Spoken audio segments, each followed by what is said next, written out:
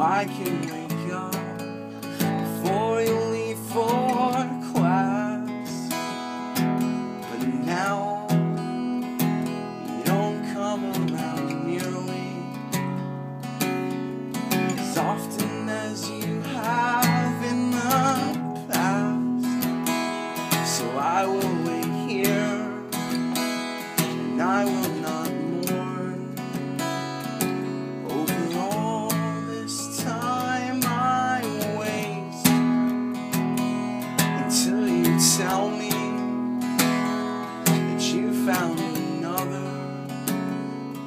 another new lover to come and take my place.